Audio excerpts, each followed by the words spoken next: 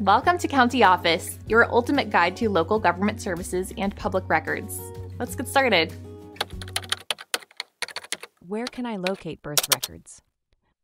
Looking for birth records can be a bit of a journey, but knowing where to start makes it easier.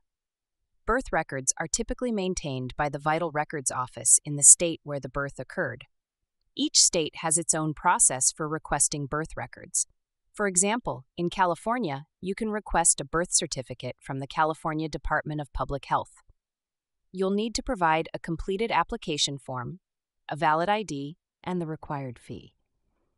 In New York, birth certificates are available through the New York State Department of Health or the New York City Department of Health and Mental Hygiene, depending on where the birth took place. Most states offer both online and mail in options for requesting birth records. Online requests are usually faster, but they may come with additional service fees. For mail in requests, you'll need to send a completed application form, a copy of your ID, and a check or money order for the fee. Processing times can vary, but it often takes a few weeks. Some states also allow you to request birth records in person at local health departments or county clerk offices. This can be a good option if you need the record quickly.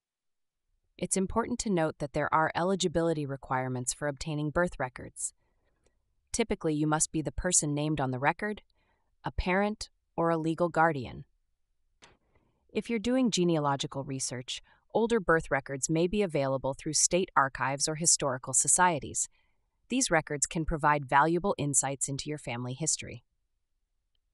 For births that occurred on military bases or abroad, the U.S. Department of State maintains these records.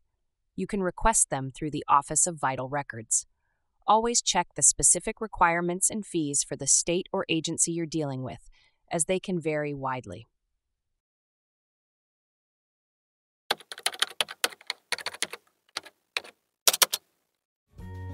To learn more, check out these links, which you can click in the description below.